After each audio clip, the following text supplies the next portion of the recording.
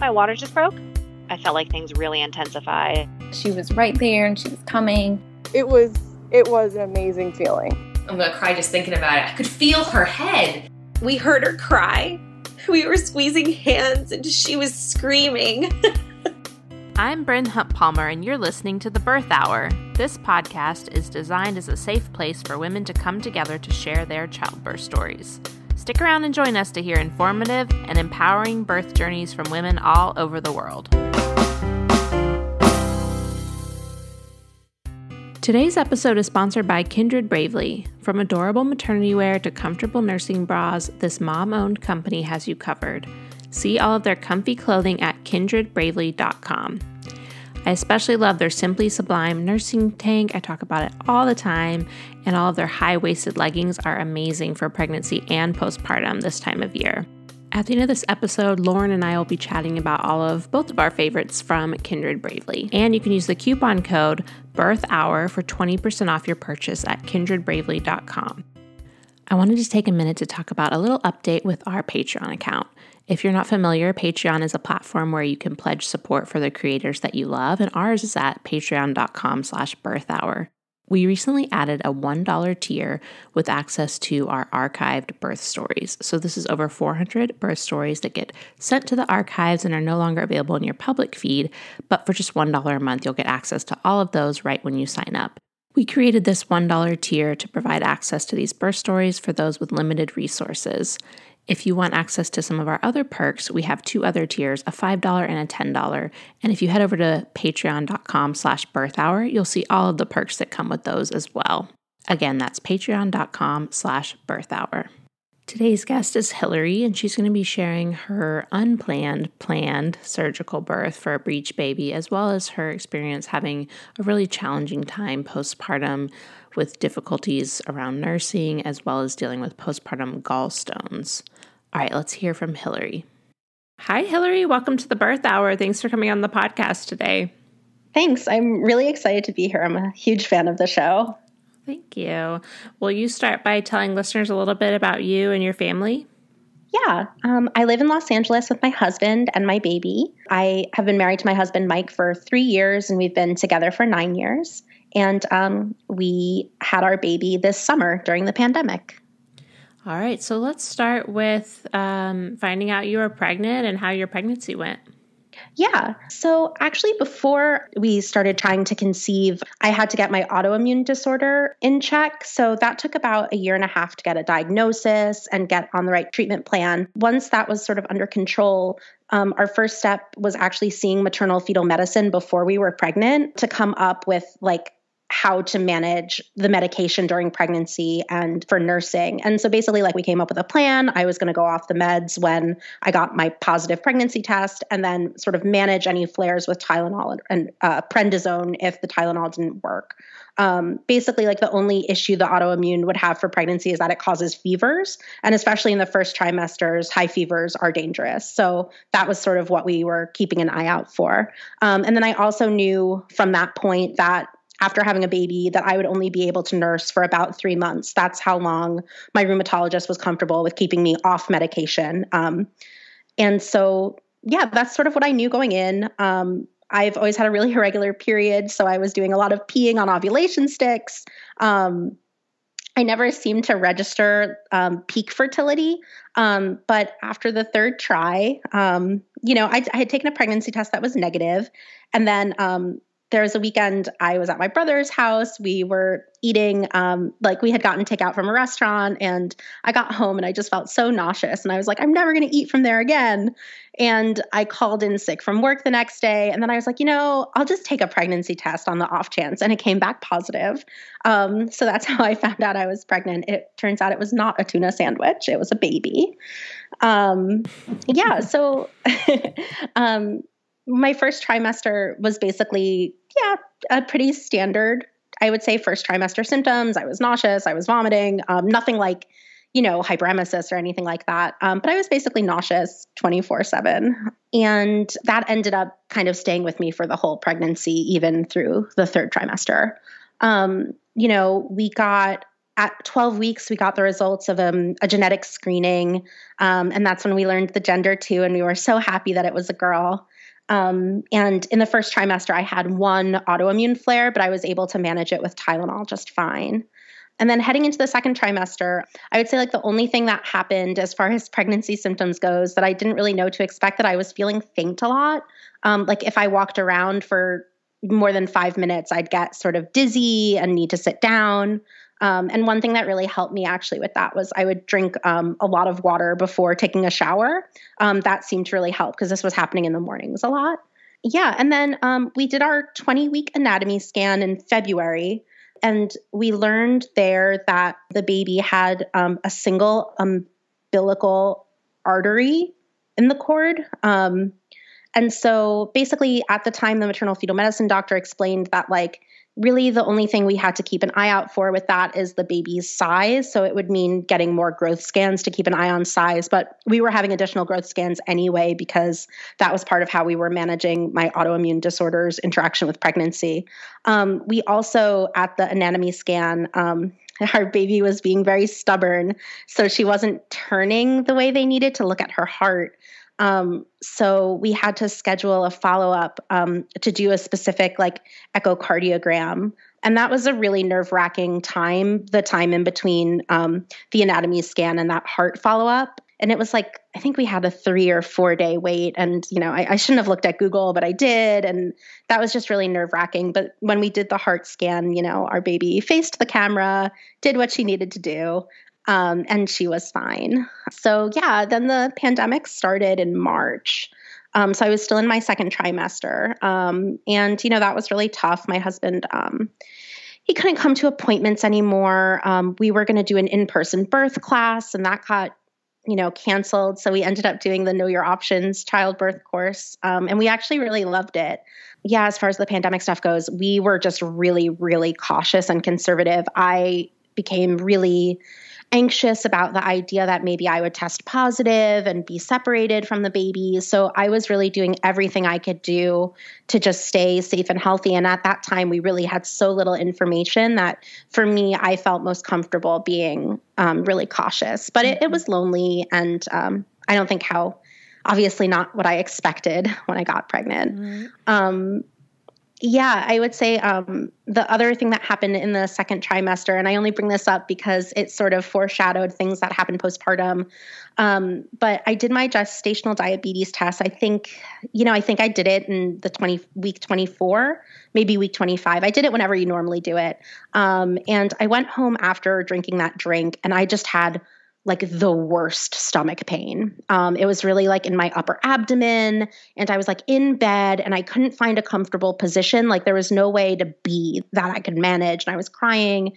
And I called the OB, um, and they thought it was gas because like your organs shift. And so I guess that could be gas pain up there. But, um, you know, it was so painful. And, um, yeah, it was horrible. And as far as the test went, like I just barely didn't pass. So I had to do the longer test as well, but I did pass that.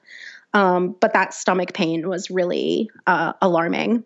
Um, we hired a doula. Um, our hope was that by the time, you know, it was time to give birth in June, that maybe our doula could be there in person, maybe the pandemic would be over.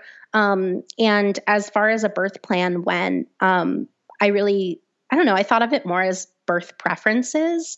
Um, I tried not to be too, too rigid. My sort of preference was to have a happy, healthy, empowered birth, hopefully a vaginal birth. Um, I was open to doing an epidural.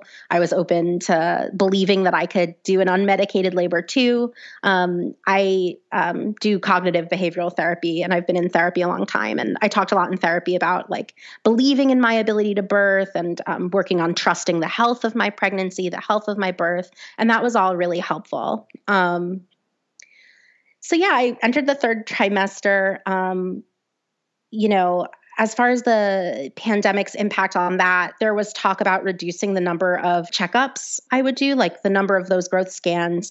But that just made me really anxious because I felt like between the umbilical cord and the autoimmune, that I had I was taking a lot of comfort in regularly seeing the baby on those screens. Um, so we ended up actually keeping those. And then as far as third trimester symptoms goes, um, my worst symptom was actually really intense hip pain. Um, like I would wake up at night with my pregnancy pillow, and like whatever side I was lying on, that hip would be in so much pain I'd have to roll to the other side, and then I'd like sleep for an hour, wake up in pain, and then roll over again. Um, and then as um, the trimester went on, I started getting like these really strong, tight feelings kind of on my upper right side. Um, and I was like, this is either a head or a butt. um, and I didn't think too much about it. And I, I wondered if it was maybe Braxton Hicks, because, you know, it was my first pregnancy. I have no idea what that feels like.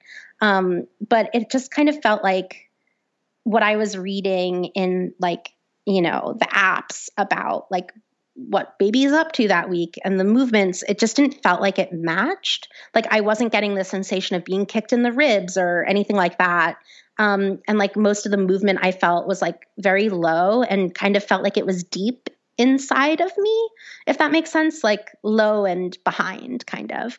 Um, but i was doing kick counts um, that helped with my anxiety and i was always on track with that so at my 34 week scan, um, that was with maternal fetal medicine, um, but it wasn't my typical doctor. I, I guess she was on vacation. Um, so this other doctor did the scan, and then um, basically she said, like that the baby looked great, but that the baby was breech. Um, and then very matter of factly, she was like, you can go to a chiropractor, you can do spinning babies, moxibustion, uh, aversion, and then you get a C-section. And she was just super matter of fact. And I was just like totally blindsided by it.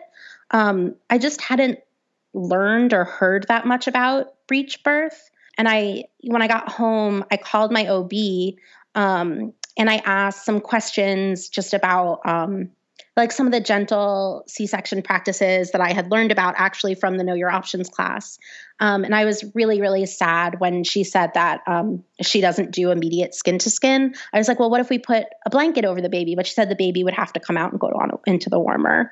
Um, so that was really sad, and I had to kind of process that. Um, and part of the way I process everything is doing tons of research. So I just went full tilt researching breech birth. Um, I started doing spinning babies exercises right away. I got a birth ball. I was on it all the time, lots of cat cow. And I tried doing some of the inverted spinning babies poses at home, but honestly, they made me kind of uncomfortable and nervous. And I think had I been able to have a person in my apartment with me watching, I might have felt better about it. But I had to trust my gut and it didn't feel, it just didn't feel right to me. But like I said, lots of birth ball, lots of cat cow when I started doing more research, I was like looking through expecting better again. Like, what are the studies about breech birth? But there's really not much in there. Um, so I just started searching actually for like podcast episodes of women who had had um, breech babies. So there were a few on Birth Hour that I listened to, um, and just other birth story podcasts. And that actually is what brought me to Dr. Berlin's podcast. He's a chiropractor, and it turns out he's in LA, and he's sort of like the chiropractor for breech babies. Um, so it was really hard for me to like weigh the pros and cons of seeing him with like COVID risk, but I felt like if I didn't try, to do the chiropractic approach that I'd always wonder if that's, you know, what would have happened if I had. So I made my appointment and I was supposed to go while I was in uh, my 34th week still. Um, but then I had a really bad autoimmune flare. Um, I needed prednisone and I had had a high fever. So the COVID policy at the chiropractor's office didn't allow anyone who had had a fever within a certain time frame to go, which is totally fair. And like we knew it was from the autoimmune, but the policy was the policy, and I totally understood it.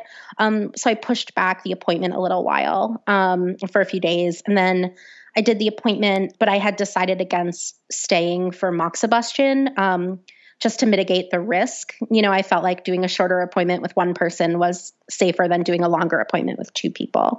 My experience with Dr. Berlin was fantastic. The pandemic had started. I had never had a prenatal massage. You know, I didn't do any of that stuff. So it was a really good experience to like have healing touch be part of my pregnancy experience after all. And it actually really helped my hips too, um, that hip pain I was having. I had researched um, you know, there's a care provider at my hospital who's one of the only doctors in this area who does vaginal breech delivery. Um, but I really, I was really stressed out. And I just felt like even like the stress of seeing a new doctor so far into the pregnancy, and like I felt like it was a COVID risk to like introduce more people into my life. I just wasn't sure that I would be able to like be calm about a vaginal breech birth because I'm the kind of person who always thinks about the risks and what could go wrong.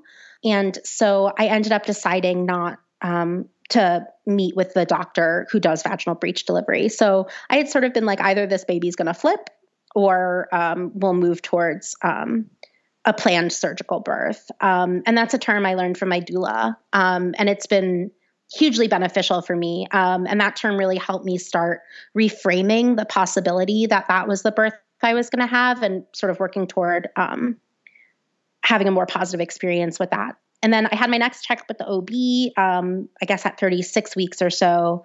Um, the baby hadn't flipped yet. So we went ahead with scheduling the ECV, um, external cephalic version, for 37 weeks.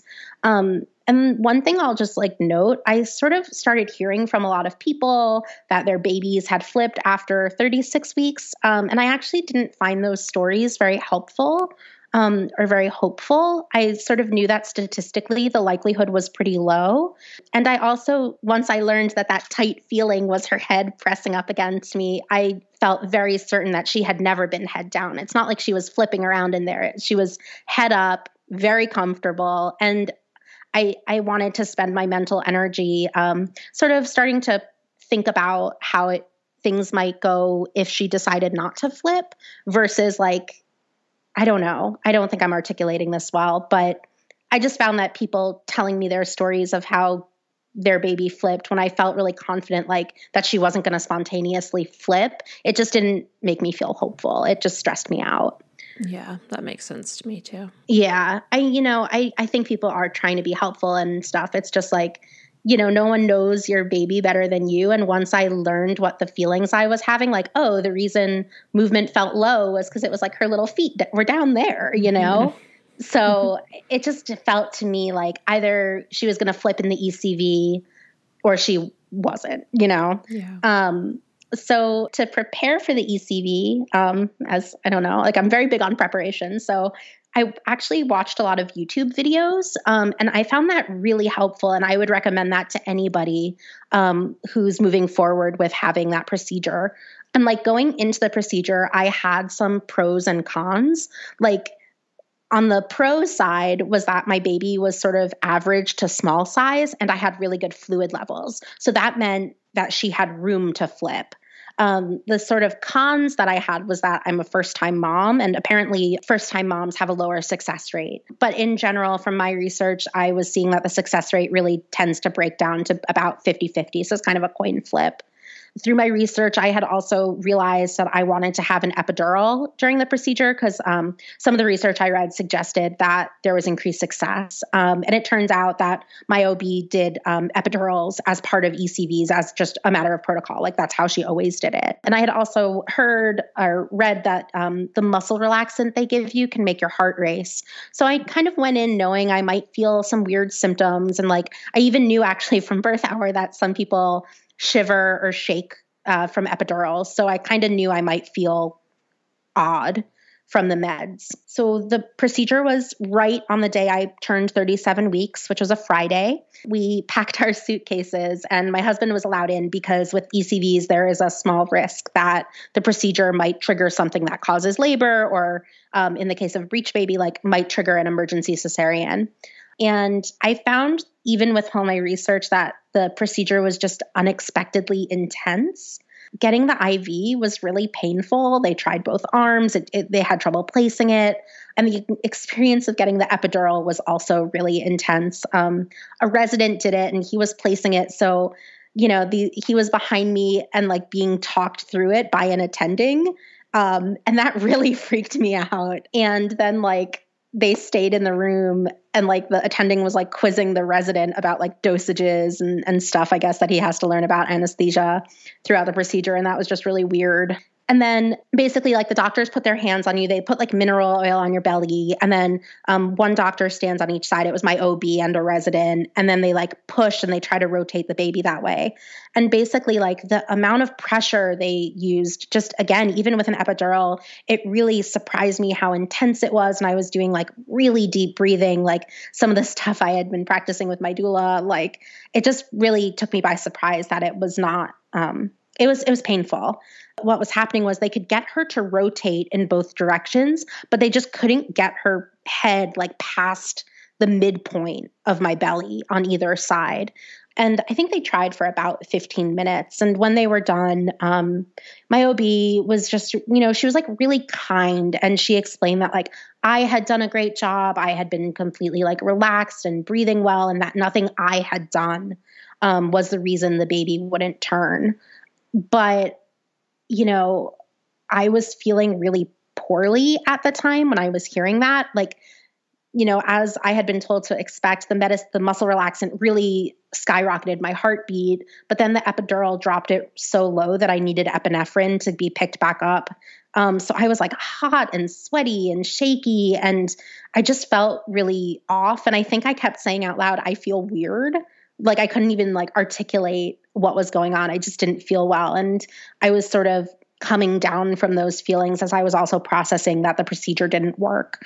The next day, my stomach was still sore, actually. So that was another thing I didn't know to expect that I would say for someone getting this procedure, there's a chance you'll feel soreness the next day. Um, but um, even though it didn't work, I'm really glad I did it. Sort of like going to the chiropractor, I just know I would have been wondering what if if we hadn't. Um, and I had a follow up with my OB shortly after. Um, and I had some more questions. Like at that point, where it seemed like unless the baby flips, I was going to have a, a planned surgical birth. But I was hoping, I asked, like, would I be allowed to wait until going into labor and then have the surgical birth once labor starts that way like the baby could pick her birthday and and she could stay in as long as she felt she wanted to um, but the doctor said with breech that the risk is going into labor and cord prolapse where the cord comes out before the baby. She said that wasn't safe. And i think then knowing that the baby was staying in that footling position um, made me sort of understand why it wasn't safe better. Um, and it also just gave me some emotional relief actually because like footling breech isn't recommended for vaginal birth. Like usually for vaginal breech birth, it's for like the frank breech position where the baby is like in a V, um, because their butt kind of serves the purpose of a head where it can expand you know through the birth canal um, but with feet there's a higher risk of cord pre- prolapse because um, like there's not a, he- a, head or a butt blocking the cord on their way out if that makes sense um, so yeah, my next step was to plan for the surgical birth at 39 weeks. Um, I had started making a document, you know, just like a Google Doc with my preferences and questions um, that I had started working on with my doula. Um, and I was going to go over it um, with my OB at the 38 week um, appointment. And I remember, um, so again, the ECV was on Friday, and I remember like going to bed on Tuesday thinking like, oh, I still haven't heard from them to schedule um, the surgery. I'll have to do that tomorrow. Like, why aren't they calling me? Um, which brings me into my birth story. All right. So I go to bed on Tuesday and my water broke in the middle of the night, like around 12:45 a.m. I knew like instantly that that's what it was. Like I woke up, my sheets were all wet. Um, and then when I got out of bed, like more water gushed out. So there was just no question what was happening. Um, but I wasn't experiencing contractions. Um, so I wasn't worried about, you know, the cord or anything like that. Um, so I called the OB um, and we actually had never brought our suitcases in from the car after the ECV. So our bags were packed and in the car my husband and I, like, we called our moms from the car on the drive to the hospital and we called the doula. Um, and it was all pretty exciting. Like, it, you know, it was, yeah, I don't know. We were just really excited. And like I said, since I wasn't experiencing contractions, I wasn't scared or nervous in that way. Um, I was more like nervous and excited about, like, oh my gosh, I can't believe today's the day. Um, and so we got to the hospital about 1.30 in the morning and like i was still leaking water like i remember when we got out of the car like we parked the car in the parking lot i like opened the door I get out and just like more water like gushed down into my sweatpants. And I was just like, this is so gross. like my pants are all wet, my sneakers are soaked. Um, and so they let me in first. I, don't know why they made my husband wait before he was allowed in the room with me, but they started prepping me for surgery. Um, they like had asked about when the last time I ate was. They cleansed my like abdominal region with I think with wipes or something. Um, like I didn't have to get in a shower. Um, and they shaved my pubic hair, which I did not know to expect. So that's something I wish I had known in advance. Um, my OB got there. Um, I think she got to the hospital around two thirty or three. And I basically just like pulled up my Google Doc on my phone and asked as many of those questions and preferences as I could before um, things got started. And um, basically, you know, I asked about whether it was possible to have a clear drape for the moment of birth, and it was. Um, I asked if I could play music, and I could. Um, I asked to do delayed cord clamping and have my husband cut the cord, and both of those were okay. And then I also asked about like what would I hear during the procedure. I didn't want there to be like the kind of talking that there was during the ECV. But I also like didn't know if I would hear like scary surgical instruments or anything like that. And basically the OB just said you that the talking would be minimal. It would be like asking for instruments to be passed or, you know, comments about the actual surgery itself, but like it wouldn't be like chatty.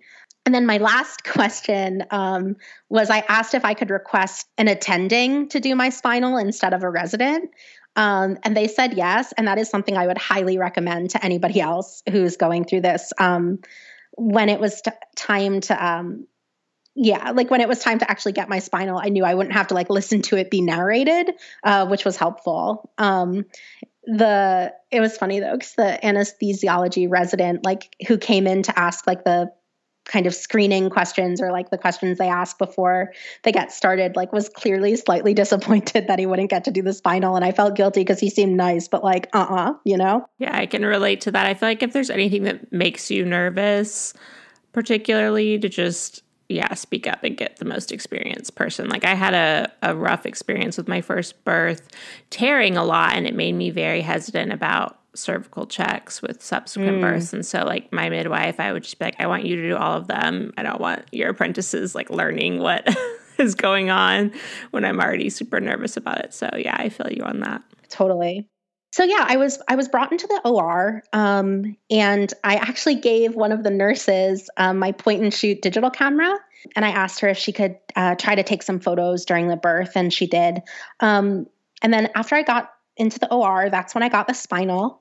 And um, I felt like I was falling forward. Like they have you sit on the table with your knees hanging off. And I felt like I was falling forward. And I asked, I was like, can I just scoot back? And they were like, oh my God, no. they were like, we like have a needle like placed in your back. You can't move so nurses um, it was it, nurses like came to the front of me and they actually pushed on my knees so i didn't feel like i was falling forward which was really helpful and i kind of suspect that i wasn't falling and that i was just experiencing numbness you know starting but um, i'm really glad i asked instead of just scooting and then my husband was then allowed in and he stayed up by my head. I was at the time feeling like nervous and excited. And that um, resident anesthesiologist was up by my head too. And he was like completely geeking out, like kind of scurrying and like looking behind the curtain and just looking very excited to be there. And then I had like a, like, like, I'm sorry you didn't get to do the spinal, but like I made the right choice, you know? Um, and then basically, um, you know, it, it, it was pretty quick. Um, and um, I felt some, like, I guess I felt like some pulling um, and tugging, but the sensations were not very strong and it wasn't painful. Nothing, you know, nothing like the ECV or anything like that. And when it was time, the OB sort of let me know and they lowered the blue drape so that I, there was a clear drape. And it felt like in an instant she was like on top of my chest.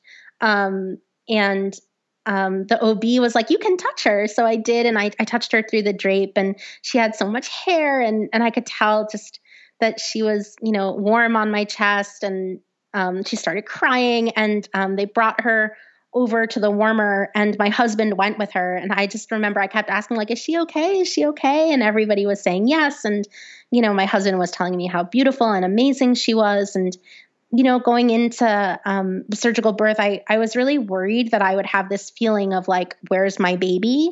Um, but actually like knowing that she was with my husband the whole time it made me feel great and i felt like that she was being watched over um, and he was just saying how beautiful she was. And I remember hearing my OB say at one point, like, you know, move quickly, like she wants to do skin to skin.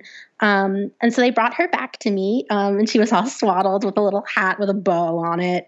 Um, and she was like so cute. And I remember saying, like, she has eyebrows. Like, I didn't know babies came out with eyebrows. Um, and so at that point, I was still lying flat. Um, and she was on me and I was holding her, but I was, I had started shaking very, very badly, um, which, you know, I knew to expect from the ECV and from other people's um, birth stories. But um, I really didn't feel safe holding her for too long because of the shaking. Um, so my husband took her again and I kind of looked at her while my husband held her. Um, and then within an hour, we were in the recovery room and we did skin to skin there and we did our first nursing session. Um, I was still shaky in the post op room, but like in post op, they were able to put you um, in one of the beds that props up. So that made me feel much safer um, with holding her. Um, and, you know, um, our baby Claire, she was totally healthy. Um, they all remarked on how proportional she was. Like she was small, she was just under six pounds, but my OB said that usually small babies tend to be long and slim, but like she was chubby. Um, and I remember the OB was really surprised by the weight um, that she like that she was that small. Um, and she had jaundice the next day so we she did a day and a night of phototherapy. Um, and apparently that's very common with babies uh, born via surgical birth um, as is a lot of spit up which is good to know because i like panicked once while she was spitting up in the hospital. And like i was still numb and i couldn't go get up and get to the bassinet. And it turns out that spitting up a lot is totally normal. Um, as far as like why she was breached. The OB said that um, when they took her out, the cord was wrapped around her neck, but the cord itself was long enough that she did have room to flip. Um, and so basically, um, we never really found out why she chose not to. Um, and my OB said, You often don't know. And really, um, after the ECV, I had sort of made my peace with like she has her reasons, like she's comfy head up, and like this is what she wants. Um, but you know, I, I sort of was hoping that there would be an answer, um, but there wasn't. Um, and actually, um, when we like looked at the photos the nurses took, um, the nurse managed to get a photo of the moment of Claire being born, and like she was born even in the surgery feet first. Um, so that's just the way she wanted to do it. Oh, so sweet. I feel like the yeah. way breech babies come out, you can really like visualize how they were in the womb too. Totally. And I have to say, you know, my birth experience was really positive. I just felt, you know, and I thanked her when she came out for choosing her birthday. Um, but I felt, I'm, I'm a little choked up. I felt so grateful to her that I got to experience labor.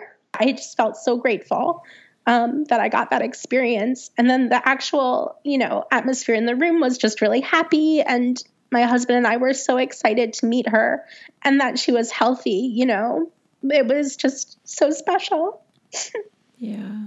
So after that birth experience, how was your postpartum just recovery, both physically and emotionally? Yeah. Um, as far as the physical recovery went, I had uh, done a lot of research and I knew that for me, I wanted to really stick with the schedule of pain meds, and that really helped me um, my pain was really well managed, I would say, through the recovery. And actually, the only setback I had, you know, I had read like, oh, if you um, feel better after the surgery, like, don't stop taking your meds because then you'll feel bad. And like, you'll trick yourself into thinking you're better. And I was like, well, I'm not going to do that. I'll stay on the meds. Um, but I sort of, felt so good that I started doing more physically than I should have, and that caused a setback pain wise. Um, but that corrected pretty quickly once I sort of cooled it with how much um, physical activity I was doing. Um, but yeah, the I would say like as far as like taking the meds go, um, I was really nauseous during the, my first few weeks postpartum, and I only sort of it took me a few weeks to realize looking back that I think it was a side effect of the medication. Um, at least for me, I was prescribed prescription strength Motrin, and that can make people nauseous. Um, so that made like eating enough for nursing really hard, and I just felt not great. But yeah, I would say that's sort of my yeah my surgical recovery was good. My scar was good. Um, we had sort of a rough go of it with nursing. Um, our immediate nursing session after birth went well. She latched, and I was able um, to give her some colostrum. Um, but every subsequent nursing session really got worse. Um, I had a terrible night nurse on our first night postpartum, and like, you know, it, it was it was a really bad experience. And um, the evening ended with her setting me up on a breast pump without explaining it, and I had no idea that like the pump was going on to higher and higher levels like i had just thought that like oh if you pump for five more than five minutes it's excruciating. Um, and uh, i would say i did get a pro tip from my doula the next morning but you can actually request to change nurses. Um, i only learned that after this woman's shift was over. Um, but you know the charge nurse like assured us i wouldn't see her again. Um, but yeah so even after that pumping session, I, I, was still able to like hand express colostrum, but not much was really coming out via pumping or while I was nursing. And the hospital did have lactation consultants. Um, and then on her second day in the hospital, when she was doing the phototherapy she needed, um, that was all day and overnight. And she was basically taking breaks every three hours to come back to our room to do skin to skin and nurse. Um, but the doctors had put her on formula um, during the phototherapy because that can help get rid of the jaundice. And we all agreed and felt good about that decision. Um, but yeah, like our last day in the hospital, we just had another really rough nursing session. And I just, when I got home, I was just like really anxious about nursing and really emotionally exhausted by it. Um, I was just really afraid of the pain that it was and all the crying. Um, so I started a really strict pumping regimen. Um, I was pumping every three hours, 10 to 20 minutes. We were feeding her formula and giving her maybe, like, I was able to get maybe an ounce of breast milk a day. Um, and sometimes I would skip a day of giving her so that I could build up enough to get her a full ounce. Um, and like my supply wasn't really increasing as the days went by. So I tried like one hour power pumping sessions where you do, I forget the exact, I would, I forget the exact um, protocol for that, but it was like 10 minutes on, 10 minutes off, 20 minutes on, 10 minutes off, stuff like that. Um, and those sessions like increased my immediate output by a little, but it didn't really jumpstart anything. And I just was really never able to express more than like 10 milliliters per session, you know? Um, and the, it, they would just leave me feeling like really sad and really disappointed.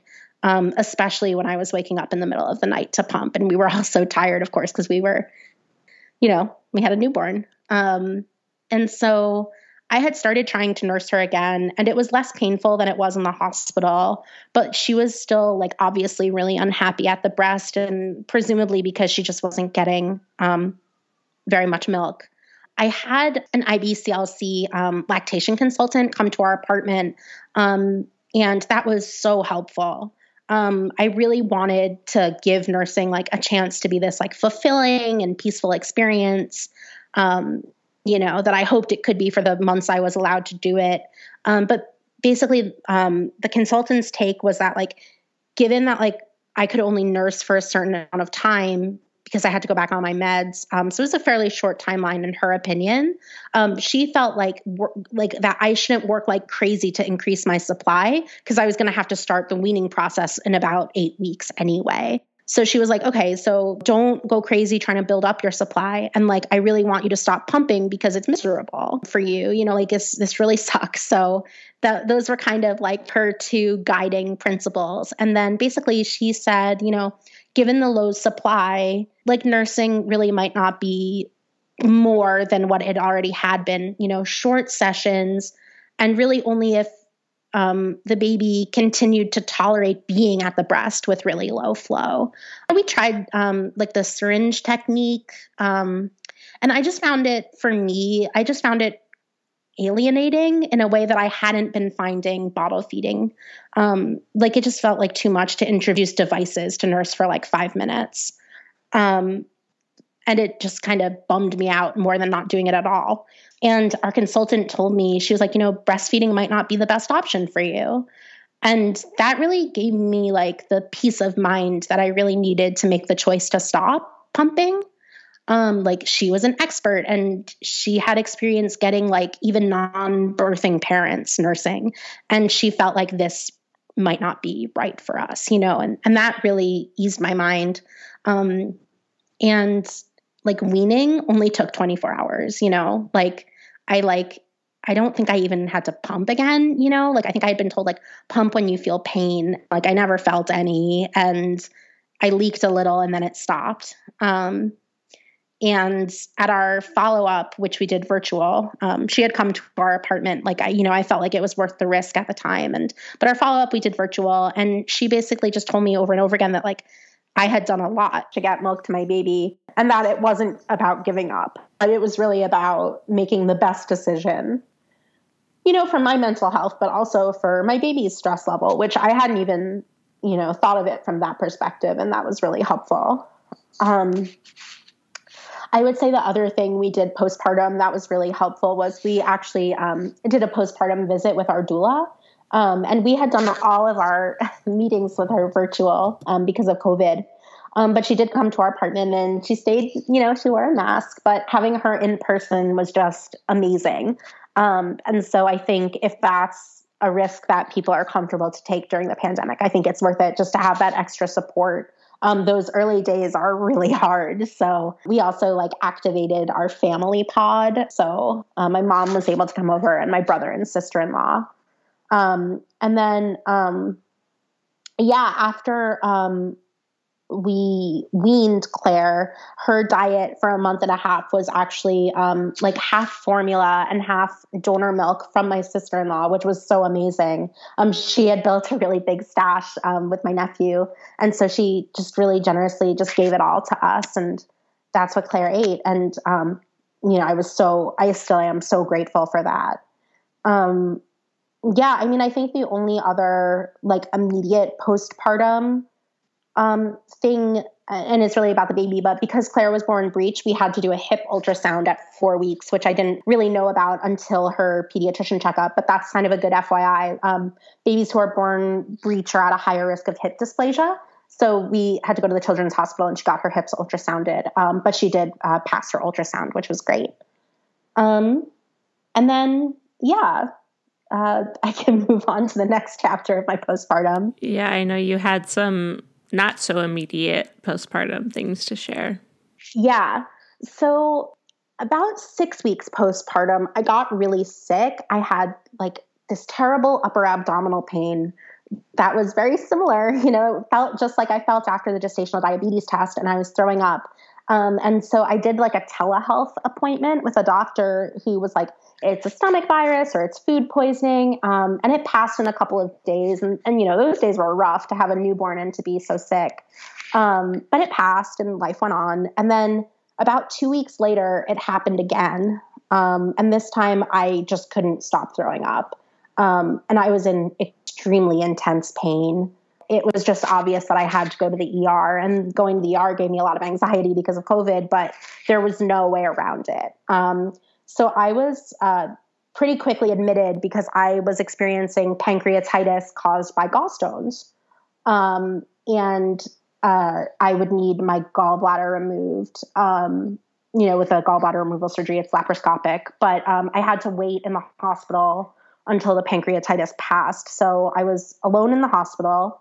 Um, you know, unlike when you're there for birth, you're not allowed to, if, with COVID, you I wasn't allowed to have anybody with me or visit me. Um, so I was alone in the hospital. I was NPO, um, which means like you're not allowed to eat or drink water for several days.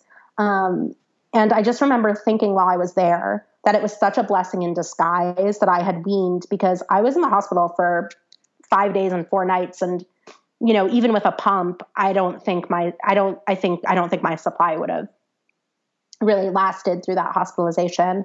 Um, and so, yeah, my last full day in the hospital, I had the surgery. I went home the next day. Um, and that recovery was quick. Um, you know, as everybody said it would be, but it was still a recovery from surgery. You know, there was pain and pain meds again. Um, but, you know, I was recovering. Um, you know, I was eating low fat for a while, but I was able to sort of get back to my regular diet.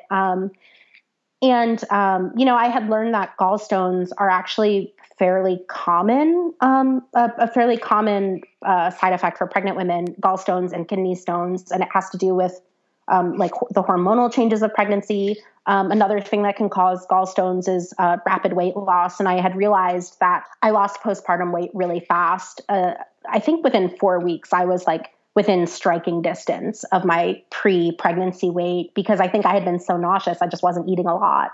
And I, I was spending a lot of energy doing that pumping.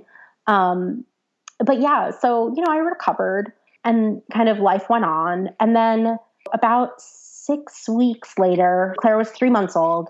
Um, I had an autoimmune flare and I had started taking prednisone.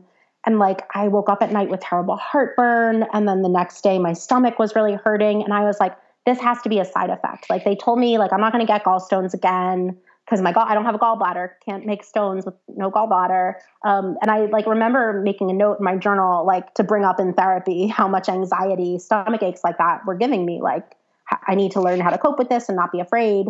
Um, but that night, it just kept getting worse, and I started vomiting uncontrollably again. And it just became obvious again that I had to go to the ER again. Um, and I was admitted, and it was the same thing. I had pancreatitis. It turned out that I had retained stones after my gallbladder removal, which is a very, very rare complication. I, I think it's like less than 1% or less than 2%.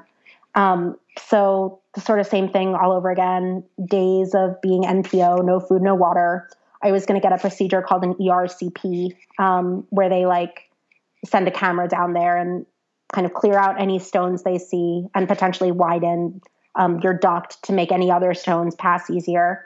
Um, and then the morning of the procedure, my my face um, like felt sore, like as if I had been really clenching my jaw. And I brought it up that morning.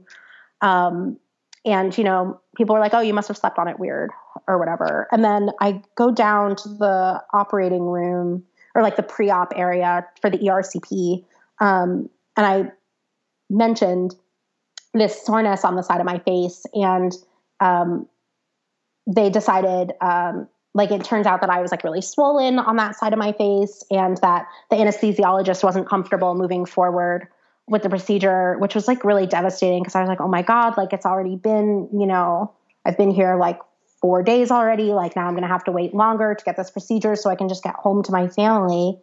Um, but what happened was those days of not eating or drinking water, um, my salivary gland um, had basically gotten backed up and then infected. Um, but sort of on the bright side, while I was waiting for my gland to get better, um, the stone passed on its own and all of my numbers returned back to normal. Um, so that in total was like another five days on the ho- in the hospital. Um, and I left. I left the hospital on like a really crazy cocktail of antibiotics um, to help the infection in my salivary gland. And then one of my routine staph infection tests had come back positive. So they had to be really, really careful on the chance that I had staph, which I don't think I actually had, but you know, they have to assume I did. So once once the antibiotics, once I was done with the antibiotics, things got a lot better. Um, I felt like I felt like myself again, and um, yeah, I mean, the work now that I, you know, I think will be an ongoing process is like trusting that I am home, you know, and that I'm okay, and that it's that particular journey is done. Yeah, it makes sense. It's like a lot to process when you're already processing so much from your birth. Yeah, totally. Um, and I think the thing that's frustrating to me is, you know, I now realize that my first like gallstone attack was definitely the day of the gestational diabetes test. Mm. Like it was that same intense upper abdominal pain. And I feel like it was missed then and it was missed at my six weeks postpartum, you know, when that telehealth doctor told me it was like a stomach virus. Right. Um, and I think the reason I have some anger about it is that given that like something like 10 to 12% of um, pregnant women experience gallstones and not necessarily in a symptomatic way, but like that's fairly high percentage. So Yeah. it seems to me like this should have been on doctors' radars Mm-hmm. um, in a way that I feel like it wasn't. Um, and so I've kind of like every pregnant woman I know, and I like even in the birth hour Facebook group, I'm like, know these symptoms. Like if this is happening to you, like speak up because I think had had it been caught earlier, I think I I might not have had to go through the pancreatitis, which is just so so painful. Yeah. Um, and you know, I, I think there's probably no way around.